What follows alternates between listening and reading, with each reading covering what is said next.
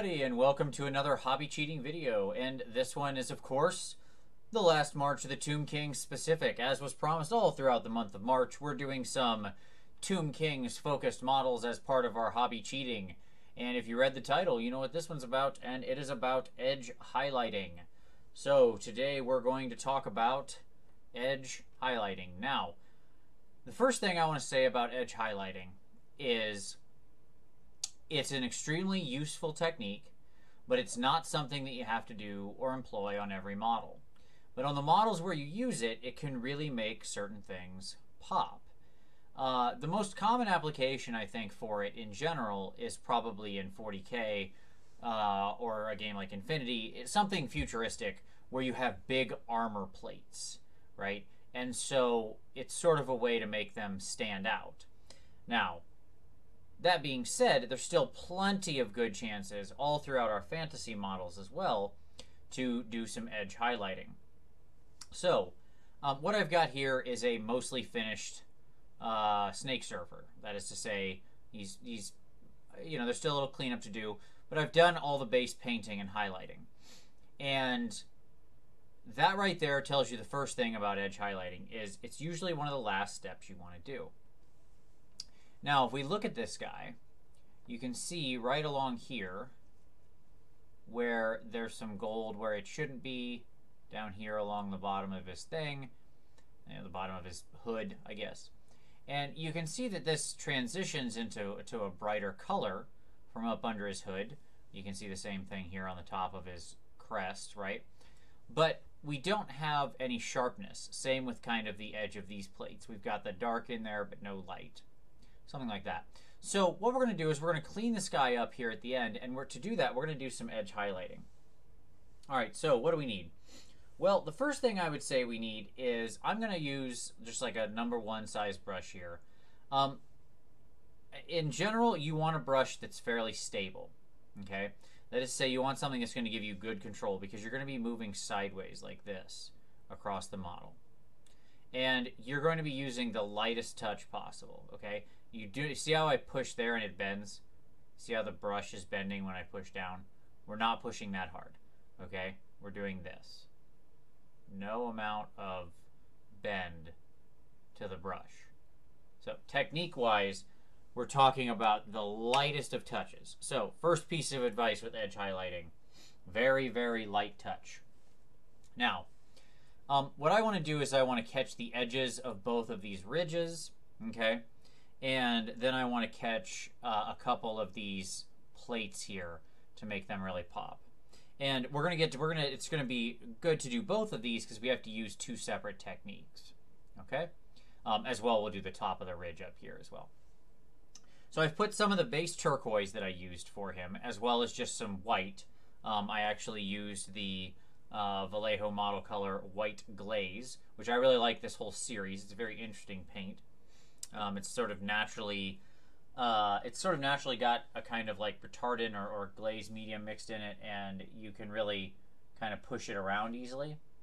Um, and in this case, I'm going to use it because it doesn't have a huge amount of coverage. And it lets me work in a thinner paint without necessarily thinning the paint. Um, you don't have to have that. You could use anything you want. Um, so you can see I got some white paint on uh, my fingertip where I didn't want it. No. There we go, on the edge of the brush, about that much, okay? I wiped off the excess on my thumb as usual. And so now what we're going to do is we're going to come in here, and we're not going to go all the way up. I'm going to start about right here, where just beyond where the light is technically starting. You can see how it's faded there. I'm going to start about right here. And what we're going to do is, with the side of the brush, extremely lightly, we're just going to drag it down. You notice I'm not trying to do it all in one stroke. Just very, very, very light touches, right? So I get something like that. Let's do the other side. We'll do it again. We'll do it in the opposite direction, okay? This also helps clean up my difference between my gold and my blue. So again, about the same place. Nice light touch. We're just dragging the brush ever so lightly across to just leave a little bit of the paint behind. The key is we don't want to push hard because we don't want the brush to bend. If the brush bends and pushes toward the model, then what's going to happen is we're going to get paint somewhere we don't want it. Okay? You can see I did that a couple times. And so now you can see the difference there, right? How much more that pops with the edge placed in there. We can also get like the inside edge.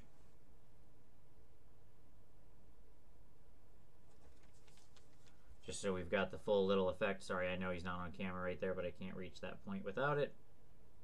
Okay. So there we go, right? Very subtle effect, but it really does make a big difference. So let's take a look.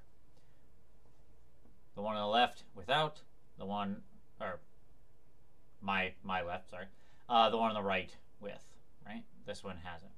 You can really see when you look at like that side of their their hoods. Okay, we're gonna do the same thing up top here. Now in this case, I'm working at this moment in the pure white, right? Now you don't have to always edge in pure white. Now I went up to a very white color here on this. In general, your edge highlighting should be about one shade lighter than your highlight. Okay, so if you've got a gradient like this, you want to go up about one more shade. Because this was mostly white down at the bottom, my next step up is this very thin white. Um, but you could also, like in this case, I could also just use like a very, um, very, very light turquoise. So here, what we're going to do is the same thing. We want to catch this center ridge. So we're going to make sure we've got our all the excess off and we're just going to go up very gently.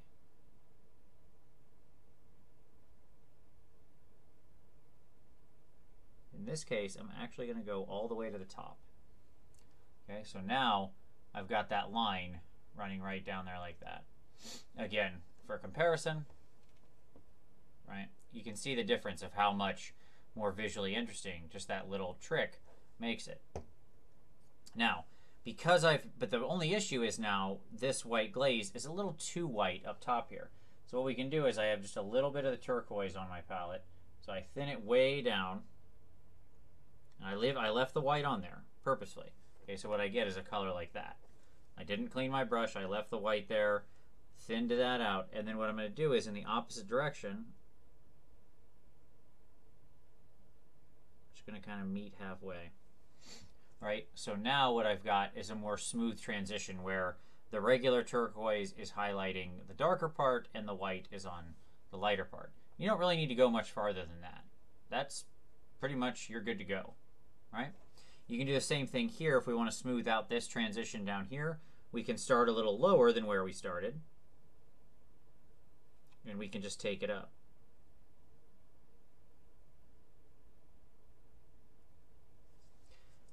Right, now we could spend a lot of time trying to blend this line perfectly and blah, blah, blah, and that would all be fine, but we really don't need to, right? Like, it's just, it's just, it's unnecessary.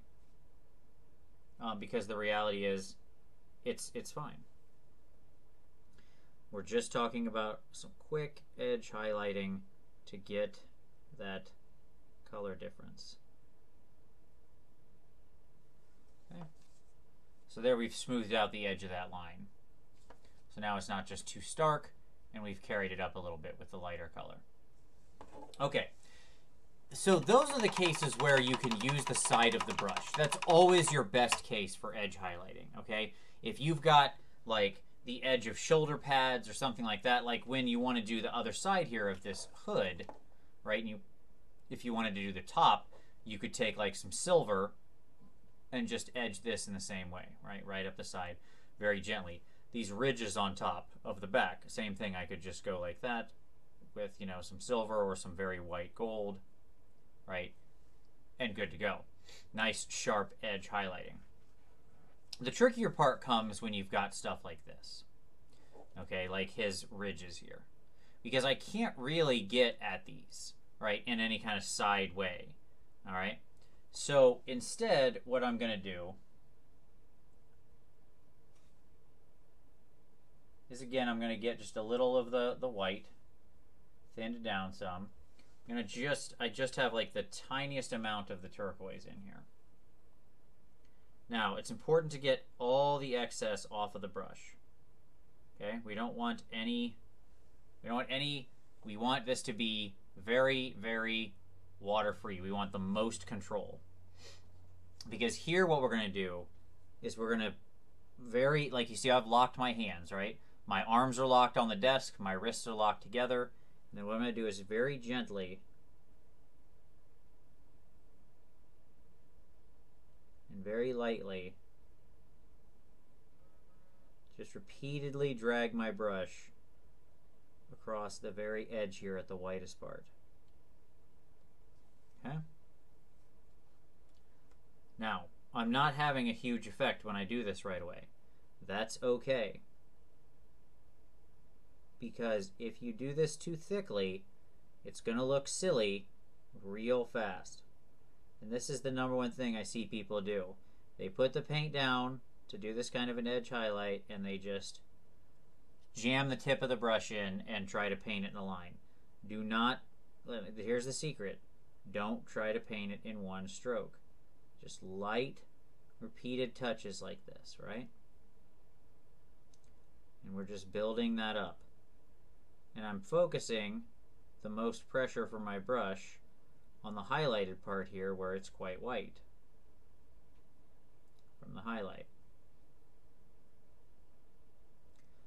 This also gives me the most control. If one stroke goes wrong, not the end of the world, because each stroke is adding very little paint overall to the miniature. That's what we want. We want a bunch of light, feathery strokes to add up to showing that edge.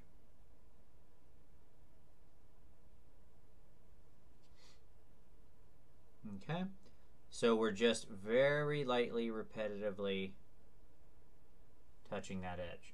So then what we get is a very subtle effect, okay, where you can just see the lighter part. Now, if you want to take it up more, you just keep going. And if you don't feel like, if you're not quite as patient, that's okay. It's all right.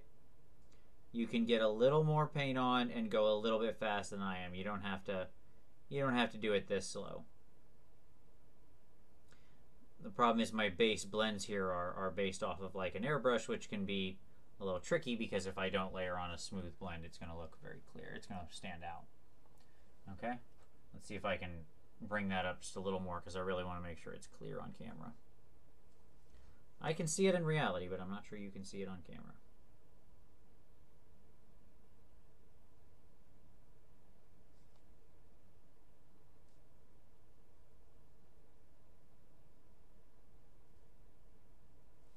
Okay. I think if I get rid of the extra light, you'll be able to see it. There you go. And then the last thing we're going to hit is you see these ridges on the back?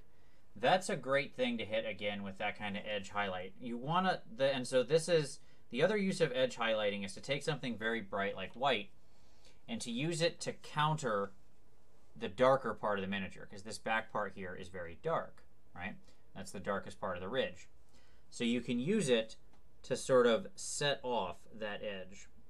So uh, here I can use the same trick. Oh, a little too much. There we go.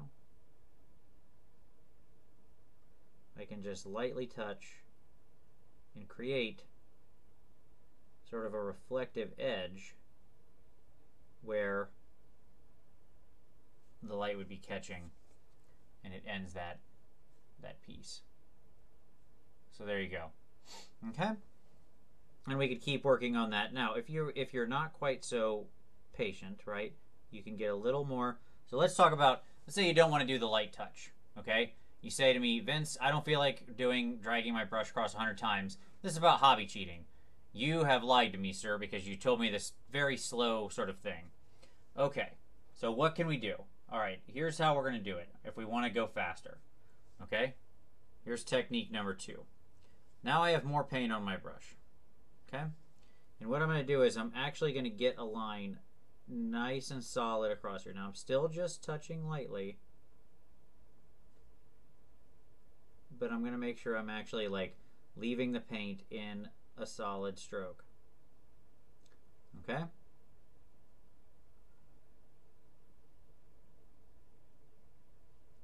As opposed to building up a bunch of slight thin glaze marks. Okay, I'm going to do that where it's much stronger after one time. And if you want it, you could go pretty stark on this. Then what I'm going to do is again, so it's the same trick we did here, just we're going to use it. This is the this is the real key. When you're needing to work like this, like on those inner armor plates on say like a big mech or something, where you can't drag your brush sideways, here's your key to smooth that out. After you do your edge, you go back into your base color of whatever's underneath. You thin it way down into that glaze. Okay? I still have my white on my brush. I did not thin it. I did not clean the brush. And now I have a very thin, and you can see here, here's the white, right, that we used. There's the turquoise I put over. You can see how thin that is. It's barely showing up, right? Okay, let me get a little more since I literally just wiped it all on my fingertip.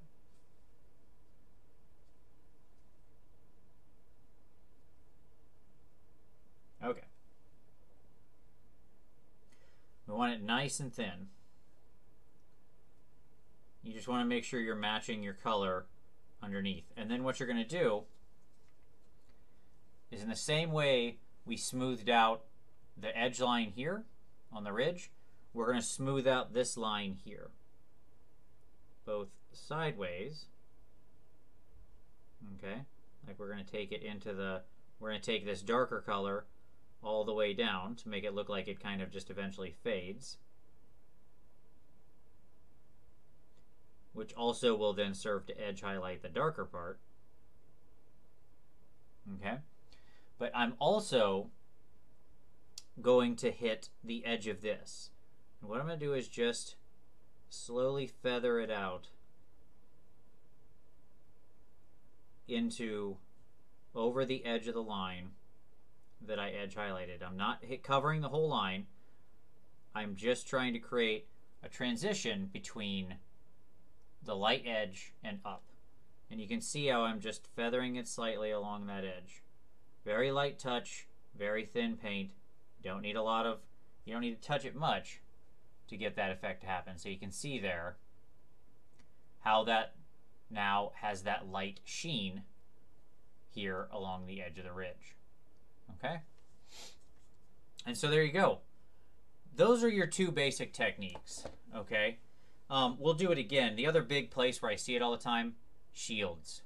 Shields like this, right? Where you have the colored shield on top isn't armored. So here what am I'm going to do, I'm going to get some of my white and I'm going to sideways, light touch, right? So light touch from the, from the side. I'm going to take it and I'm just going to drag it across there at an angle, nice and light. And I'm just trying to hit all of the top of it. Right? So now you can see where I've got that line up top. Pretty clear. And then the key is to really sell this effect. You can see how this has these cuts out of the side. You want to make sure you get every upward facing angle right? So if you've got multiple things like this, the other key with edge highlighting is your edges that are cut need to move in the same direction. Okay? Sometimes when I see people edge highlight, especially with like 40k vehicles, they just edge everything. They just trace around every plate. I don't know what is that supposed to be? That's not how light works. Okay? What you're trying to get with this edge highlighting is light catching on the edge of something before it fades into darkness or, or whatever. Okay? You're not just painting it to trace it. Okay? So, by doing this, where you can see now the top of this is highlighted and the top of this, right? What that does is create that downward image of light hitting this thing, right? Now, if I want to, again, if I wanted to smooth the sides of it to really sell the effect, same thing. We get some, uh, we get a, a watered down glaze of a lighter turquoise. This is very dark up here, so it's fine. And what do we do? We go down the side. Okay. And we go down the side. Very light touch. And up here, we can do it on the edges, just ever so slightly.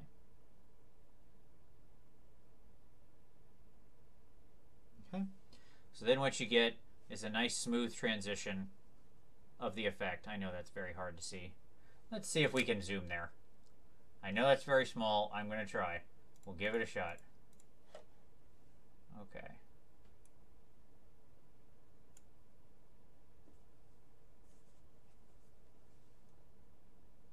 There you go. So you can see now how we've traced that edge, right? And we've used that bluer color to then set off the angle. If we go back to this guy, all right, let's see if we can get that in focus. I apologize. No, stop doing that. Focus on the front. Uh, da, da. Oh. There we go. Okay, you can see now how we've created the lighter effect here and just very subtly along these ridges to counter out the darkness and up here along the top of his head. Okay? So, if you wanted to continue, you could get the rest of the plates. I think the key with edge highlighting is don't go overboard.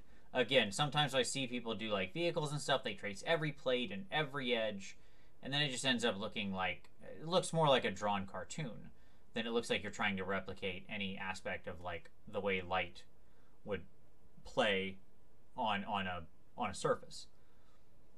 But if you want to take it up more, you always can, right? It's uh, you can just sort of keep working this. So if I didn't think my, let's say I didn't think my my edge highlight went up far enough on this on this guy, like I wanted to take it all the way up, right? We could just kind of keep going up just to clean up my edge.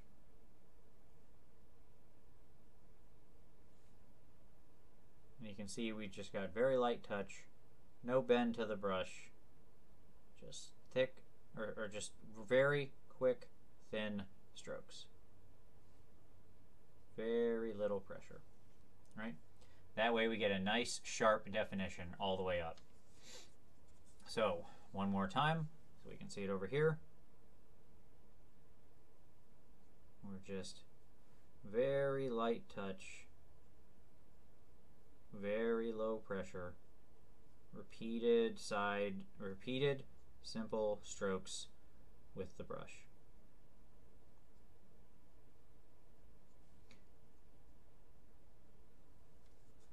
All right, and there we go. And then we don't get the bleed over onto the other edge. We get a nice, sharp, defined line. Okay? So there we go that's our hobby cheating for today, edge highlighting. Uh, I hope that that helps and gets you thinking about what the edges of your miniatures look like and how they interact with the light. But uh, and, and, I hope that uh, this technique is useful to you. As always, I appreciate you watching, and uh, we'll see you next time. Have a good one.